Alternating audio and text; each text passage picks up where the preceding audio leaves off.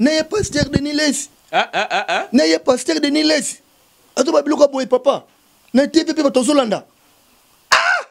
yango kola yango azala mpe nzambe alola azonga soki akozonga soki oza pasteur ozoluka actualité mm. atika kolukaka na nzoto ya, ya molinga ya fere tika molinga asala activité na ye ntango yo osalaka seminaire osalaka campagne nanu te ferre aya alobaki non soit disant pasteur qui vient de tel matokolo oyo naza bouddhiste nalandeli oyo moko bapasteur moko alobi na tv ke o ferre c'est un bouddhiste pasteur nani te longtemps akombo te mpo na osala publicité je m'excuse papa je m'excuse longtemps akombo te mpo na osala publicité alobi nini ati tala eloko ya tobenga yango osala eza outrage mm. oyo tobengi na droit okay. osala outrage avec molinga mm.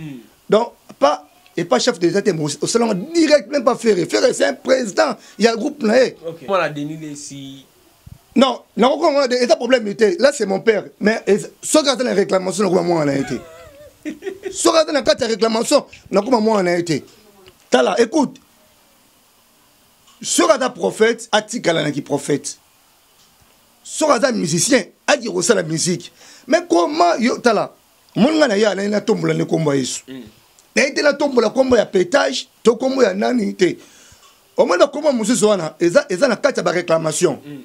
neti nkombo ya petage e, oh, eza nkombo mo eza na kati ya baréclamation zela pardon zela pardon zela pasteur papin olobi nini nalobi boye nkombo ya petage eza nkombo moko eza na kati ya baréclamation qui est pasteur petage ah, mais tolobela pasteur denis lesi biso toyebi petage un vieux, un vieux cool abis album ne afro petage qui est natuni question qui est pasteur petage mais c'est le prophète des nations denis lesi moto apesaka bamessage avec précision Bible, Bible bien, hein? Il a un proverbe. So salaka mabe, ne te fatiguez pas ya ko sala mabe. So sala bolamu, sala pe bolamu. Siko na ngwasa mabe. Mais tant que les gens on peut savoir pas combo. Pasteur pétage. Écoute papa, non non mon frère non. Non, on dit ce qu'on a bloqué boé et tout ça mouté mananga do on nervé ngai dia makasi. Kasi soto bito no bimisa bloqué boé. On monte que ça bien té. Hmm? Pourquoi biso ba chrétien to couvrir bolumbu na ye mingi mais ye moko azobimisa yango en public ya pasteur pétage oyo bobenga nde pasteur pétage nayebi te ngai nayebi nakoma papa denis lesi to couvrir bolumbu parce que c'est un chrétien tobomba bolumbu na ye ebo faire aza ba mauvaise herve te natuni yo kasi yebisanga mpesanga réponse faire osala miziki etant que aza musicien na ye aza musicien okay. yango asala musique na ndenge na ye mm. n'oublie pas que aza artiste international mm. na bana nzambe bakoti na kati ya perdition eh, eh, eh, eh. na bana nzambe bakoti na kati ya perdition mais ntango asali déjà album tozela baconcert ebetama ya faux pétage sikoyo bana nzambe babunga nzela écoute papa kopesa litoi epai ya diable te kopesa litoi epai ya diable te wana eza na biloko moko tobenga eza biloko moko boye eza fonde ozolanda ya biloko moko eza très fonde na kati ya fondement ya kriste eza te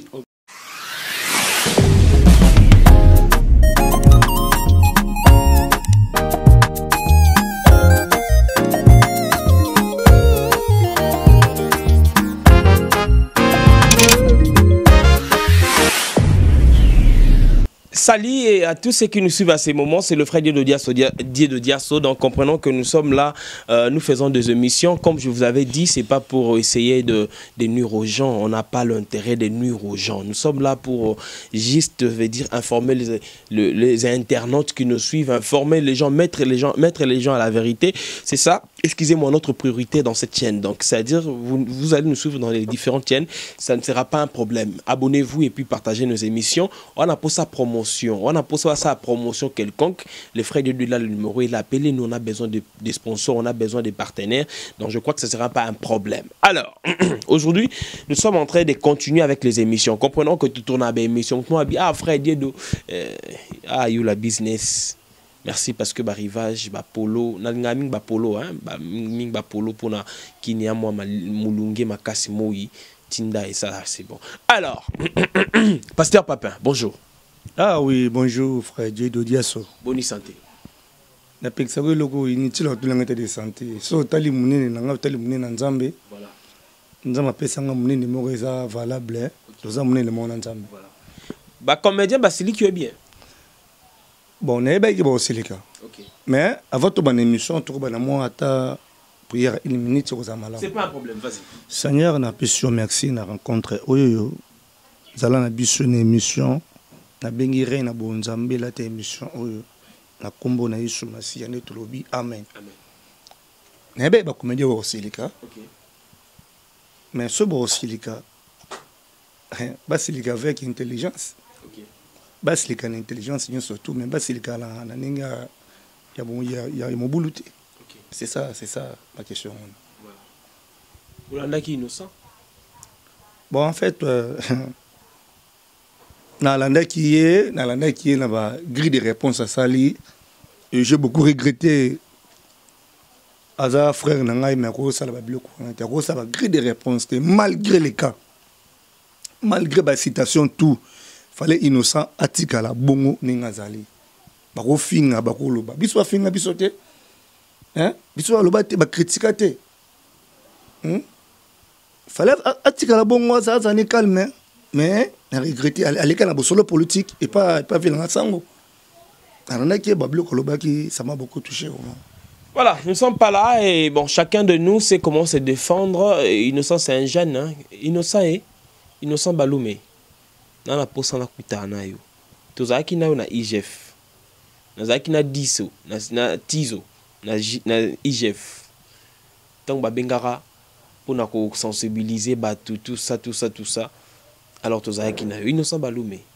nga na posa tokutana na yo naza numero innocent eh. naza numero na ye sobi napesa numero innocent seke il faut pesa nga après mission nabenga innocent balume eh tokutana na yo mototo wangu mototo wa goma je t'aime beaucoup nalingako mingi innocent balume non c'est encouragé je t'aime beaucoup alors passe papa un message omeye bana nzambe lelo ah bon message eza message ya malamu avant nabana nanu nakopesa bambote Na vie na nga Jose le grand ingenieur na MT motor na pesi wa là c'est mon grand baza ba père na nga vraiment papa mm. Jose na pesi yo mbote aza aza yaya te c'est un papa okay. papa Jose na pesi yo mbote joyeux anniversaire à toi oza vieux opesa nga ba conseil ebele conseil nga so tali émission bisi nga non euh, papa une solution tala olobaki boye olobaki boye olobaki boye Et na pesi sous Joël. Wana tout bataka bien ingénieur MT Motor, ba tout ba landaka émission oyo yo makasi. Na pesi pe souviens nanga Freddy ya MT Motor. Na limete sika boza bino tumbo te na pesi vie nanga Wems ya tango. Na pesi pe sumbo te ba tango nyonso na pesi bino mbote. Et na pesi bébé Ritela, na pesi pe vie nanga Alpha. Ata ko bendana mais nzambe azali hmm. babiloko wana to eleka nango to abana nzambe allons-y alors euh, message lo eza nini oui message oyo naye nango eza si baréclamation hmm. si baréclamation koma moto azalaka réclame omoni na vie to vivre lelo bon teme nanga titulaire eza si jésus christ ye ma solution omoni christ na vie na ndenge christ aya na kati ya mokili voilà. Apesa solution na mwana Nzambe nyonso, na moto oyo andima Christ lokola Nkolo mpe Mobikisi. Sansel kaka yo ndima nkombo ya Yesu se fini, ozwi, ozwi solution. Solution ya nkombo na nga papa solution te mpo napesaka solution te. Je salue aussi mon père spirituel, le prophète Esther Kiwundo, esika ozali, là, là c'est mon papa. Papa oyo abimisi ngai wana ye wana papa na nga Esther, église évangélique Mont Carmen, je te salue. Bino nyoso ba serviteur de Dieu na pesi bino mbote. Oui, na pokwa lelo tolobela si ba réclamation, thème na ngeza sous thème na ngeza si réclamation. Mais thème tu sais ça Jésus Christ est ma solution. OK. Et na kati ba réclamation tu as tiré kaka six choses ou quatre choses pour tous la en bref. OK. Comment tu as réclamé? Ozomona réclamation et na ba sous forme ebele on ne peut pas parler la réclamation sans que toyebela mpe condamnation ozolanda basala nzambe baza réclame pourquoi na biloko ya mokili kolula ozomona ndeti moto otenga ya kombo kolula ata réclame bilulalula basala nzambe mosusu bamelaka masanga e basala nzambe mosusu bakondana bango na masanga na kibundumba Est-ce que oko kosunga ngo teme na Luc chapitre 22 Luc chapitre 22 Luc chapitre 22 le verset 31 Oui otangeli na lango mbango vraiment Luc 22 le verset 31 Luc 22 verset 31 wana tokoyeba esika bana nzambe oyo bazalaka réclame ndeko olanga yo moto ozolanda ngai na ndako esika ozali yo moto oza partout na australie na canada na états-unis partout oza na france na belgique na italie bien aimé dans le seigneur lorsque nzambe alamusi yo na ntongo ya lelo mm. akomi so mpe su na pokwa lelo fo pesa nzambe wana merci eza na bato ebele oyo bazoluka ata babelela nkombo ya nzambe me bazobelela te ndeko diede osunga nga na verse biblique wana tenge nanga na balobi luc chapitre 22 verset 31 mm. le seigneur dit simon simon non lantuma le seigneur a dit simon simon, simon.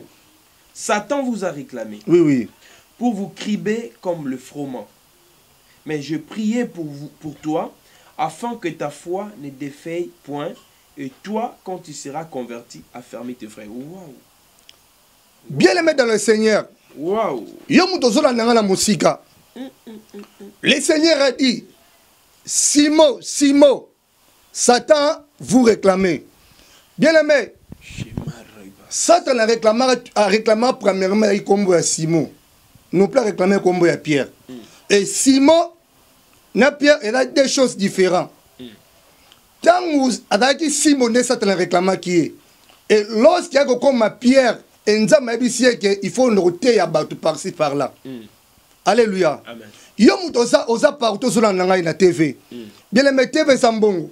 Ta oyo ozomona oyo oyo tozolekisa etolekisa ngo pamba te. Okay. Etolekisa ngo na Nzambe. Et eh bieleme mutu aza réclamer aza réclamer ndenge nini? Eloko liboso réclama mutu. Eza na eza na masumu na biso réclama mutu. Wow. Et deuxième chose réclama biso eza eza ba homme fort. Okay. Ba homme fort de la famille ne ba réclama biso. e troisième eloko ereklama biso na vie premièrement eza makila makila nini yo bima nango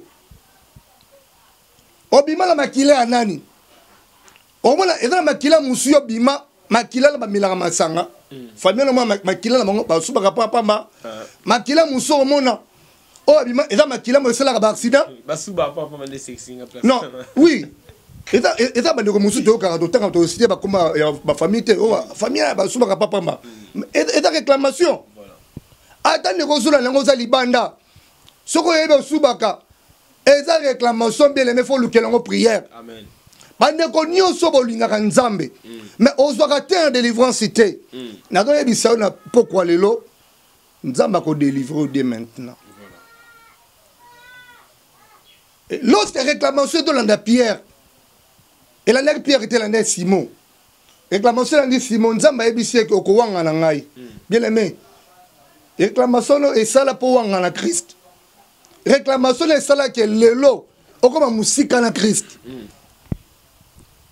eloko mosusu ereklamaka vi ya motu soki christ ye moko azalaki réclame yesu ye moko azalaki réclame yesu ye moko azalaki réclame bayebisi christ balongoli ye awa bakimisi ye ti na egypte moto aliboso réclame ya christ ezalaki nani ezalaki roi no réclame christ baboma christ erode aréclame christ nga bomane christ mais bazwi christ bakimisi ye balongoli bakimisi ye ti na egypte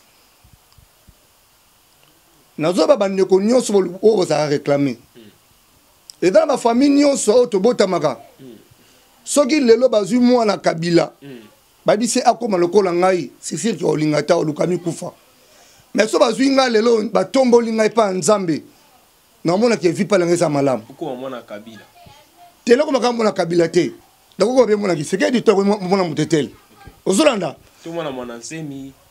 eza problème te c'est un congolais ebeleme de le seigneur To mwana Denis Lessi. Non, na ko kongo de eza problème ite. Là c'est mon père, mais soki aza na réclamation na ko mwana na ite. Soki aza na kati ya réclamation na ko mwana na ite. Ozolanda.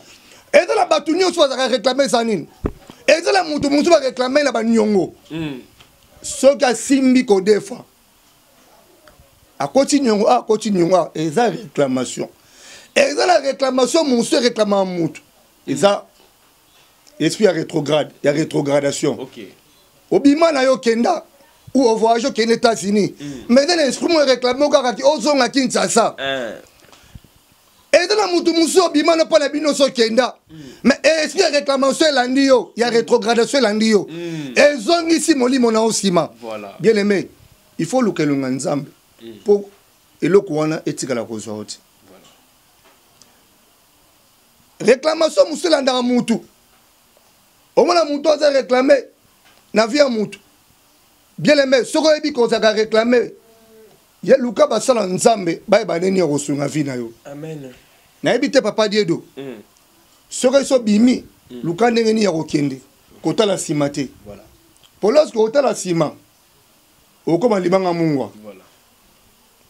e, eloko ereklama basala nzambe ebele na kati ya bible yango wana mm. baye biso zwa biloko no bima kende maye ezwa elongi na baluki nsima tali mm. e, lorsque okozala reklame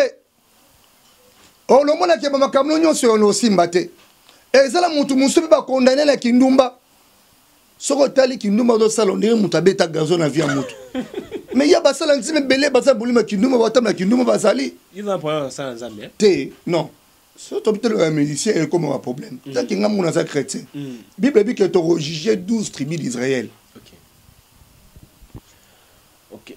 tokojuge biso bachrétien tokojuge 12 tribu d'israël voilà. eza na bible okay.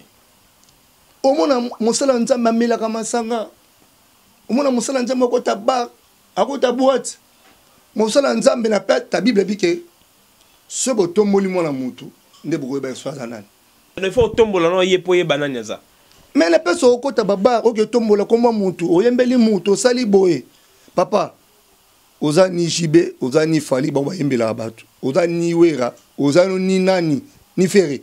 Tika bato ayembela bato ayembela bato. Mais tant que oza chrétien, mm. eza na mutu moko koyembela eza kaka Christ, eza Yesu Masiya. Voilà. Bible dit que en réalité de l'homme c'est quoi? C'est l'esprit. Voilà. eza na esprit oyo tokotombola ezaka e, ezaka e, esprit saint mm. eza molimo te ya oyo ya tata onda oyo molimo ya nani te mm. soki kimbangu alataki molimo mosantu à travers ya christ parce que asalelaki nzambe na ndenge ya solo ozolanda bien aimé mpo réclamation ya vie moto ekweya mm. il faut oluka nzambe sincèrement oyo na ngai naloba yango wana si ya des questions ezali na kati ya réclamation otuni nga bongo tokoloba sikoyo Voilà, alors question eza que mutu aluka nzambe sincèrement mais okomona mutu mosusu aluki nzambe abondeli abondelaka mais bapasteur bazwaka toujours na bamessage oza réclame sikoyo mutu yango azwa délivrance combien de fois mpo réclamation esila frère diedo je vous assure que réclamation ekwaya na ngomba te ata oke ngomba soki sincèrement ondimi krist lokola kolo mpe mobikisi nde reklame oza esene nini ekwei etala motu mosusu aza reklame so otali bima na famille moko tu ne peux pas imaginer okay. famille eza na réclamation makasi okay. donc ata motu ya famille moko abima te okay. mais ka motu moko akwaa na krist mpe wana abimi okay. napeso exemple mm. bamoyi zimbi bazalaki combien les personnes na famille moko aza combien mais nde natelemi na famille ya moyi zimbi ye moko moise mbiemda telema bandeko mosusu mosusu aza na bango bia baza stable baya lidi na pesi ye mbote tosolaka na whatsapp aza bia aza stable te moise mbie pala tête d'affiche ah c'est ça yango wana écoute nzambe abengaka bato te abengaka motu okay ceci ke nzambe azwa ne pasteur moïse mbi ye abimisa hmm. moïse mbi c'est moïse ya famille na bango c'est un grand moïse moïse mbi ozomona malgré bacomplot tout basala sala sala ce que disent les gens papa bible ebi eh, on vous fera la guerre tika basala guerre na kombo na ye bakolonga ye te okay. yoka si so osali guerre na koma moise mbie nde olongi moise mbie epuis nzambe mpe asunga moto yango ata boolobela ye bofinga arepondana kara kabila babi mikolo batakara bako misato moise mbie kabila epuis euh, euh, ferregola obne bato bakara oyebi ke nasepela na père spirituel yanga azwa temps hmm. ebele ya kosalela mpo na moise mbiye lorsque bozobenga ke alobeli koma moto te botika babiloko wana frère botika babiloko wana nzambe aza moko gegata nzambe te ozolanda alobeli koma moto songo te place badokter batombola nkombo ya yesu hmm. mais omona faut batanga komba pasteur moïse mbiye okay. ozomona eza na litomba moko te okay. ndeko na ngai réclamation ekweyaka na retraite te soki okroire christ tellement esili mm. moto andimeli yesu masiya akomi mwana ya sika bino bandeko bozula nanga boza libanda boza problème ya réclamation mm. réclamation ezwa yo owumela kati ya réclamation mm. condamnation ekoti kati na yo bien aimé dans le seigneur mm. eza na moto alongola condamnation ce n'est pas moi mm. ce n'est pas mon père spirituel ester kiwondo eza nde nkombo ya yesu masene elongola condamnation mm. yo moto oyebi ki yo bakondana vie na yo mm. tala omoni motu mm. po vivre bien na mokili fo ozala malamu na bato okay. so oyebi ke condamnation ezwa vie na yo mobimba mm. omoni ke balingi na bao tombwama yo otombwama te tala kati na yo otambolaki ndenge nini mm. okweyaki na nani eza bapasteur voyu bazali bapasteur voyu bazali bapasteur bandi bazali bapasteur voyu bapasteur bandi oui bazali tokotanga bakombo na bango te mpo oza écran ozolanda mais je vous dis bien aimé dans le seigneur yo moto ozolanda ngai oza libanda hmm. kosalaka te lokola okoma grand mais ok na maturité oza petit bino bato bomibengaka bagrand oui Là, je ne dis qu'on vient pas. Ntango Christ akoya kozala ndenge nini? Koya Yesu Masiya ekomi pene. Bino bato bosalaka mabe, bino bato botindaka bato na kati ya mabe ebele. Arrive ya Christ eseye bopesaka ba mauvaise prophétie, mhm. ba faux message na ba TV mpo lia motu mbongo obimisa motu eloko boye ah Obwaki bible papa, otali mituka, otali ba moto, moto eza eloko nini? Ngai yo lelo contact yango oyo nasalelaka yango papa, tobanga Nzambe, tobanga Nzambe bien aime, eza na eloko eleki Christ aza te. Soki Christ atomboli eza na moto akokitio aza te. Soki Christ amatisi eza na moto akokitisa vie na yo akotika kozala te. Hein papa Diedo?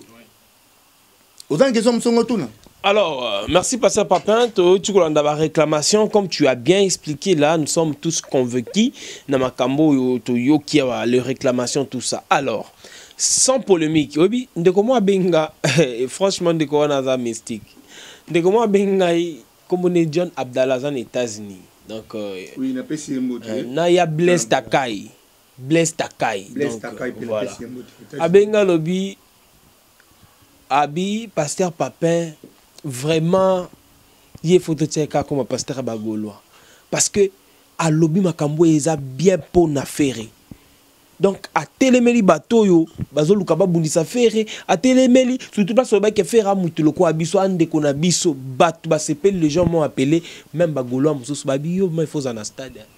mais écoute écoute yoka na biso eloko moko fere aza motu lokola ngai okay. makilo oyo aza na yango mm. eza oyo bacongolais baza na yango voilà. papa omoni eloko mosusu ele tobosanaka soki oza paster ozoluka actualité mm. atika kolukaka na nzoto ya, ya molinga ya fere tika molinga asala activité na ye ntango yo osalaka séminaire osalaka campagne nanu te fera ya alobaki non soit disant pasteur qui vient de tel matokolo oyo naza bouddhiste nalandeli oyo moko pasteur moko abina te peke o fera c'est un bouddhiste pasteur nani te longtemps akombo te mpo na osala publicité je m'excuse papa je m'excuse na otanga akombo te mpo na osaleli publicité alobi nini atitwa tala eloko atobenga yango osala eza outrage mm. oyo tobengi na droit okay. osala outrage avec molinga mm. donc pas et pas chef de l'état te osalanga direct même pas ferre ferre c'est un président ya groupe na ye okay. naye te mpona tombola nkombo na ye awa na kati ya émission mm. mai naye kolobela bino bapaster oyo oyo bolobaka mabe mpo na balinga botika babiloko wana En fait, moi, je suivi, on a suivi, voilà, je crois que c'était avec Vincent Toulouse, on a suivi pasteur pitage en fait qui dit que ferre c'est un bouddhiste mais amabe nini ye asali wana mabe nini pasteur petage asali alobi kaka ke fere azalaka bouddhiste ke fere aza na ba aza spirituel eza na, na kati ya kibouddhisme eza na baprincipe tout ça bisto tomona wana ya stade bato balobi fere wana elakisaki akufi alamuki eza na basigne okoloba qui est pasteur petage ah, mais tolobela pasteur denis lesi biso toyebi petage un vieux, un vieux cool abs album ne afro petage qui est la tuni question qui est pasteur petage mais c'est le prophète des nations denis lesi moto apesaka bamessage avec précision bible bia hein? eza na proverbe so osalaka mabe ne te fatigue epai ya kosala mabe so osalaka bolamu sala mpe bolamu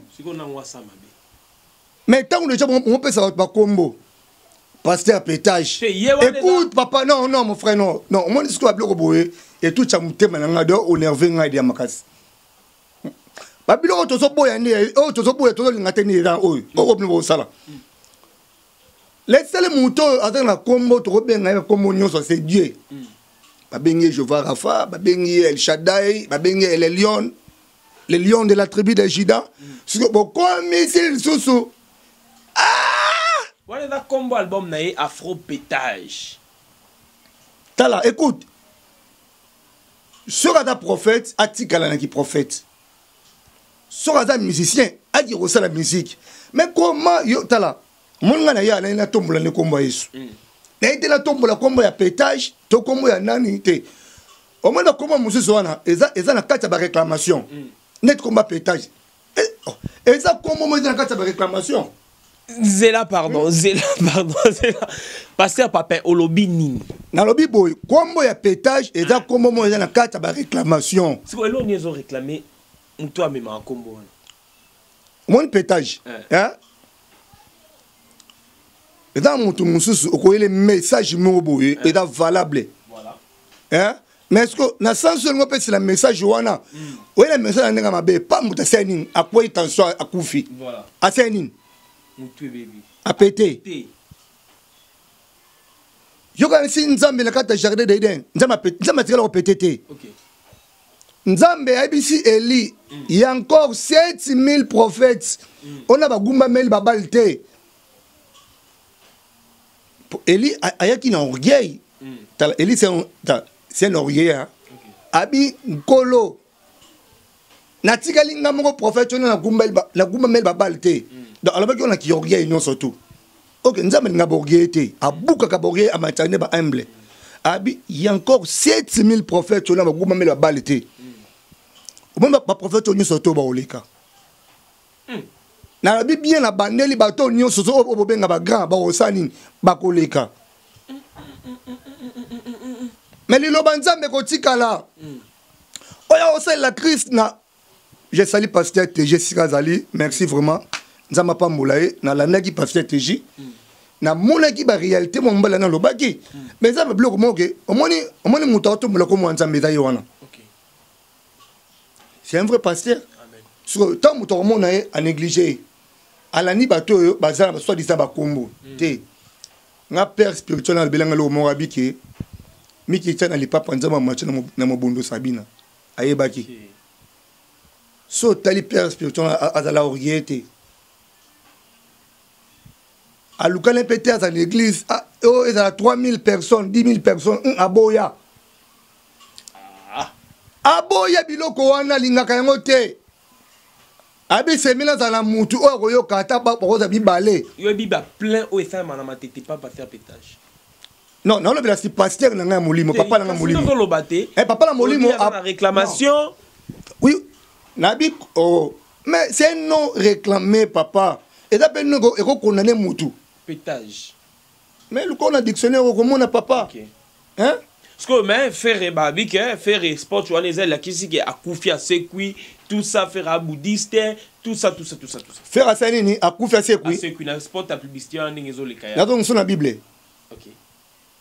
tabita dorcas asekwaka te asekwaka mpo na banini babonne eve ebo ferre aza bamauvaise herve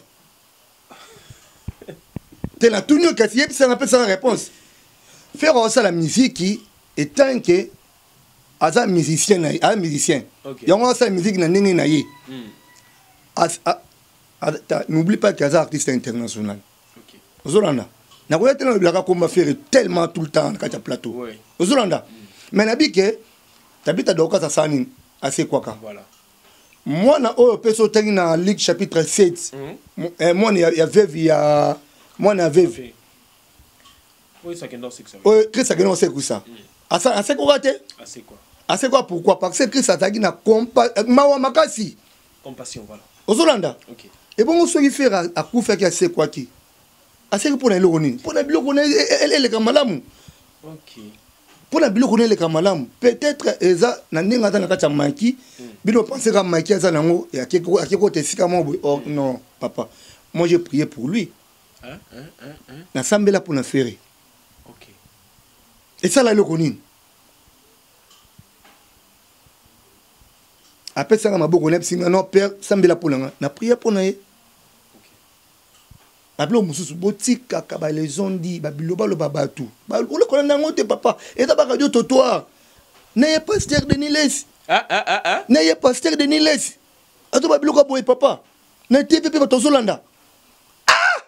yango kola yango azala mpe nzambe alola asani azonga soki ozonga po asala nini azonga me amatisa baoyo ya ye bon pasteur denis lesi akeo oh mais soza nzembo okomata papa bongo naboyi non papa nalobi onabi te nzembo amatisa oyo aye hmm? na lola tokutana kuna non omoi na lola eh. petage na petage te kobima biloko na te nzambe ofrape ye komeka biloko na te nzambe akofrape ye papa tika tala bongo biloko wana bible ebi hein? eh. moto oyo asalaka evre nzambe na négligence eh. akozala nini frappe maudit soit celui qui fait l'œuvre de Dieu avec négligence écoute bible ebi lisusu eh. pourquoi vous m'appelez vous seigneur seigneur eh. mais vous, vous faites pas ce que moi j'ai dit Matthieu 7 24 voilà et eza mpe na ligue mm. ligue 7 24 wana mpo otangi je ne vous ai jamais connu serviteur d'iniquité. Ok. Et là. Te, il faut totanga yango mpo ezala malamu. Ah, tout ce qui dit Seigneur, Seigneur n'entreront pas tous dans le royaume des cieux. Faut totanga yango mpo ezala malamu. Totanga. Totanga yango ensemble na pasteur papa Matthieu 7 24. OK, la Bible dit tobandi na 21 ceux qui disent Seigneur, Seigneur, n'entreront pas tous dans le royaume des cieux.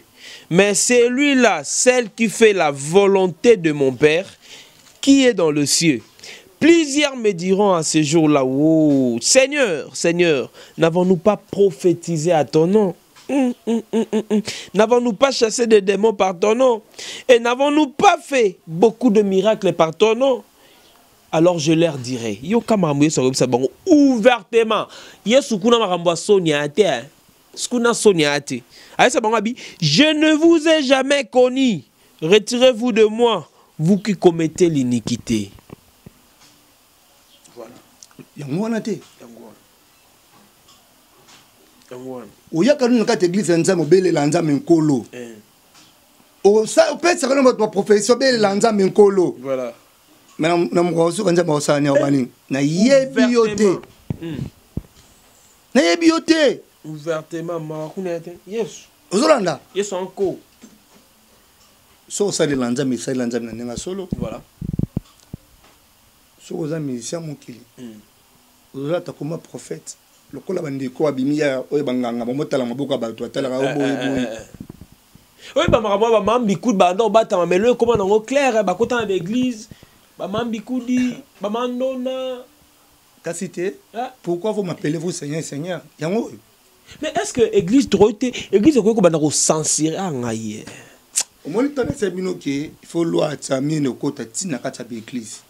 so loi atiami ekoti ti na kati ya baeglise nde bakokanga bamama bikudi eh. bakangi bafaux prophète tala epuis ntango bokanga bango eh. omoni kraka oyo lumumba alataka eh.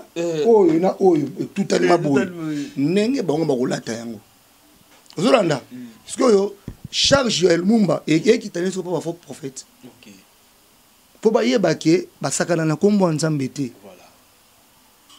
Pasteur bah, Papin, vraiment, merci d'avoir été de notre aujourd'hui. Nous sommes presque à la fin de cette émission. Vraiment, donc euh, obligé de le faire parce que le temps, c'est le temps. Donc voilà, nous signalons aux gens qu'on a besoin de votre aide. Tout c'est rapide, roi caméra. Donc, d'ailleurs, tu as un problème à pile. Yon Zamba, salut grâce grâces, au CPLAND, tout ça, émission.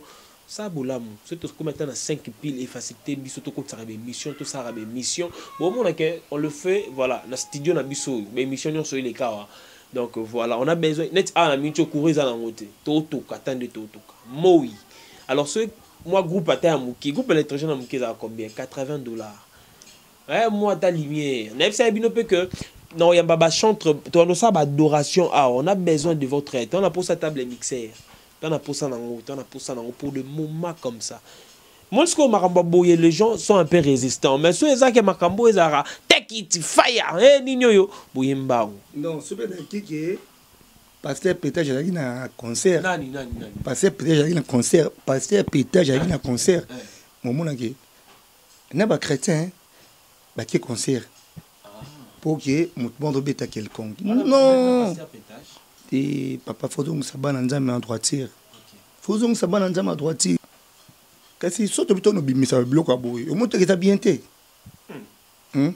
pourquoi biso bachrétien tocouvrir bolumbu na ye mingi eye moko azobimisa yango en public ya paster petage oyo bobenga ndo paster petage nayebi te ngai nayebi nakoma papa denis lesi to couvrir bolumbu parce que c'est un chrétien tobomba bolumbu na ye mais yo moko na bana nzambe bakoti na kati ya perdition eh, eh, eh, na bana nzambe bakoti na kati ya perdition mais ntango asali déjà album tozela baconcert ebetama ya faux pétage sikoyo bana nzambe babunga nzela écoute papa kopesa litoi epai ya diable te kopesa litoi epai ya diable te wana eza biloko moko tobenga eza biloko moko eza fonde ozolanda ya lomo eza très fonde na kati ya fondement ya christ eza te ozomona mm. babiloko wana ifo esila esila esila neti ngai lelo non soki ndeko abengi abiki non boya bobondela mpo na sale mm. non tosambela mpo na sale wana tobaleki tozongi na biso okokota te na assiste na kati ya concert wana ya nalobaki ah ndeko fera frappaki non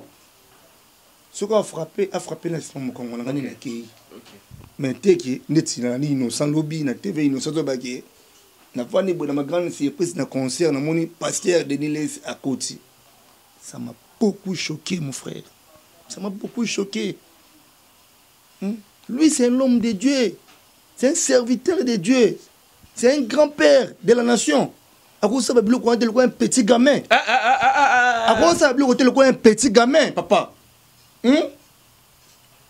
ah tozokende wapi ndeko na ngai diedo tozokende wapi hmm?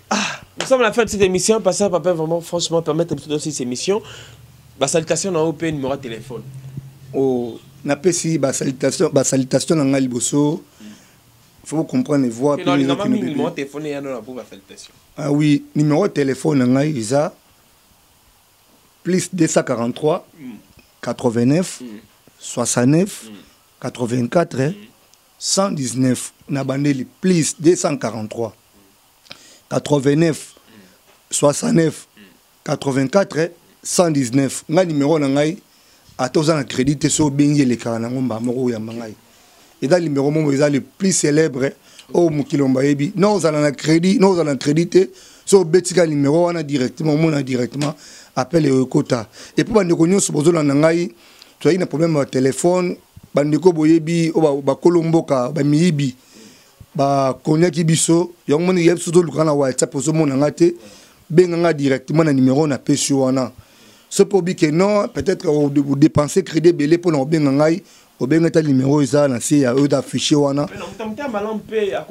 mais pourquoi kaka kosemaka na bato basala mabe quand vous êtes là train de prêcher la parole de dieu moto aza touché akotindelo mpe téléphone écoute peuple ya nzambe alingi ke Yo pasteur olungwa inde inde ti esika azali osenga te biso osengaka te père alakisi biso kosenga te ye moko nde azala touche esika azali amona nzambe soki ayebi kasi yambi na nzambe oke oh, te nalataka zambala amona zipaka elongi te hmm. soki oyebi koza mona nzambe oyo oh, osimami na nguya molimo mosantu oyebi ke non papa leka eplasi boye oza telefone yango wana nakozwa nakoboya te mais omoni émission tosala ndeko na ngai moto ozolanda ngai mm.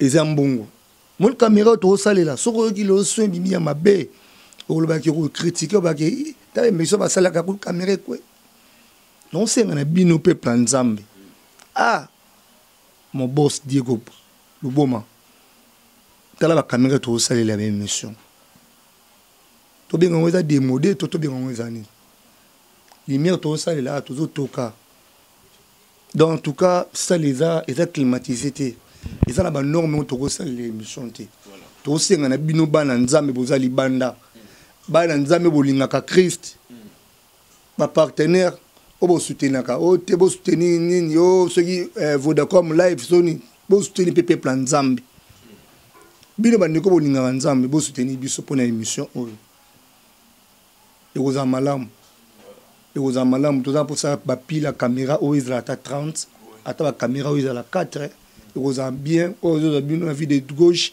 oyo ezwa na vie de droite oyo ezwa bino na vie arrière donc ekozala malamu ozomona ke toza mpe na mposa ya drone nozomona ke mosolo esalama Peut-être tosala libanda te bayibaki biso drone yango tokosenga na peuple ya nzambe aza libanda sunga biso vraimen koza malamu sunga biso mpo na sale oyo ezala malamu climatisani oyo esala biso bien soki osombeli biso mpe groupe ekosala malamu ke koto émission esalama mo vandeleter ezotya ekozala malamu nakopesa mbote Na père spiritual na ngai le prophète Esther Kiwundo l'homme du moment le souffle divin mon père na pesi yo mbote esika ozali eglise evangelique mont carmel na pesi bino mbote ba serviteur nyonso ya eglise na pesi bino mbote et na pesi mbote na docteur Samuel docteur Samuel esika azali na pesi yo mbote depuis MT Motor na pesi yo pe mbote papa José na pesi yo mbote je te salie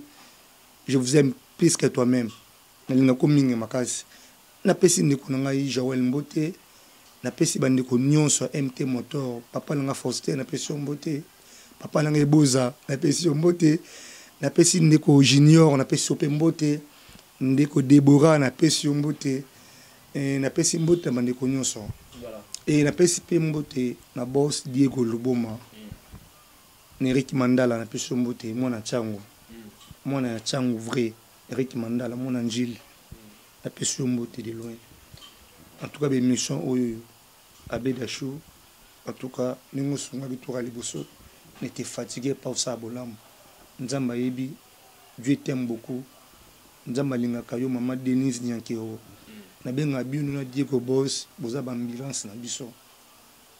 Esika oyo oyo moto akomi na suka Christ aye atie loboko esengi sikoyo makambo ya hopital bino nde botelemaka je te salut maman Denise de loin en tout cas merci papa na ngai le president de la republique l'homme du temps napesi yo mpe mbote Pasteur Oza- Fat- Pasteur Teja azwaki message moko nzambe alobi ke Fatshi Beton deuxième mandat confirmé hein.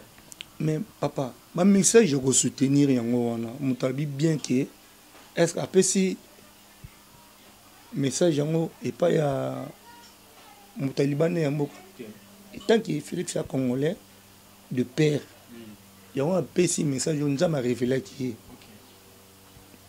ngai soki onao prophétise mpo na ye esika azali nzambe oyo tosambelaka butu moi esika bato baotilo négativité papa félix Nzambe akomiso jusqu'au bout. Esalaki nga esengo. Eza na president moko te na Afrique atika kosala eloko osali. Ke bopoza basali desordre yo yo telemi oke ti esika bato bazwaki banini bablesse bazalaki oke ofuteli bango bambongo na bopital ah!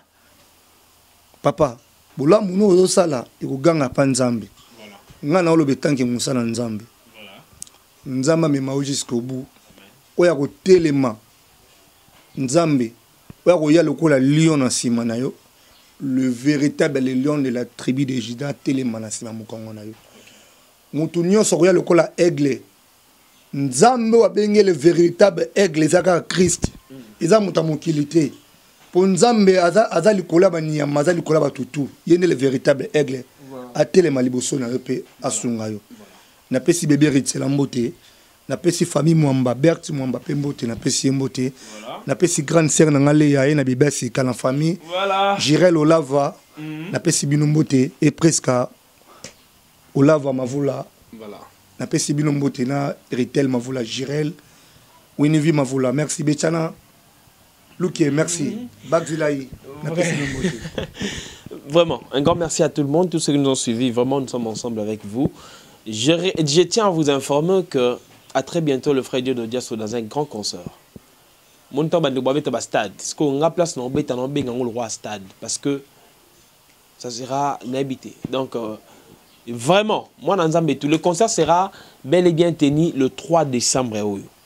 Pona ko louer salo to linga to louer. Nana posa lisungi na bino. Nana posa bana Nzambe boya. Olingo landa banzembo Fred Dieu de beta Dieu de Dias officiel. banzembo ekobima donc veut dire on a besoin de vous il y a de très belles chansons eza concert unique pour cette année vraiment c'est mon troisième concert de la vie ya liboso ezalaki na 2015 concert ya mibale ezalaki na 2019 ya misato yango na 2023 le 3 décembre place na olinga nabeta il faut oloue nga na posa ma tozwa 6 mois ya préparation bon ce qu'au concert wana esangani na anniversaire na ngai donc na posa vraiment ezala que j'invite les gens baye bazolia bazomela to célébrer mais nalingi yo soutenir que Dieu bénisse retrouvons nous bel et bien prochainement bye, bye.